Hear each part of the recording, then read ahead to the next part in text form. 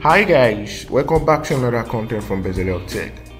So I'm going to be teaching you guys how to fix the mouse arrow not showing on your PC. So I had this problem yesterday and I had to research on how to solve this. So I was able to solve mine.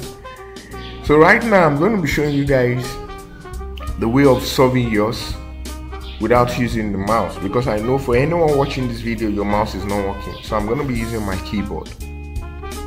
So right now let's jump in right away into the process. So the first thing first which you are going to do right now is to press Windows R on your PC so you're going to press Windows R. So you've seen that. So you press Windows R. So right now this is the word I'm going to type. So I'm going to type E V M G N T dot M S. So you press enter key, okay. So you've seen that. So right now you're now going to press the tab key on your keyboard. So you press the tab key. And you're now going to use the arrow function down key. So I'm looking for mice and other pointing device so this mice another pointing device. So to open this you are now going to press the right arrow key. So right. So you've seen that. Down again then press enter. So you've seen that. So after pressing this you're going to press the tab key. So you've seen it.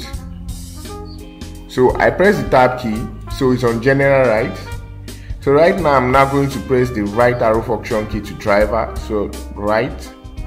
So you've seen that. So I'm going to press I'm going to press the tab key. So you've seen that.